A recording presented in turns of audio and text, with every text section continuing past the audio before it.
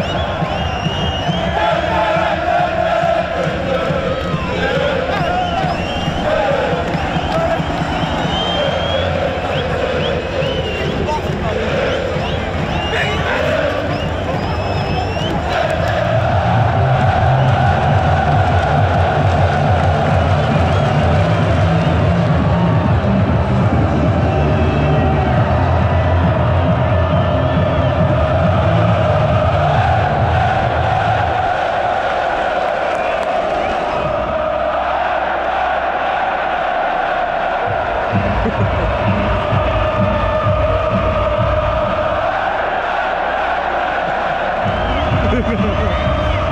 it, King!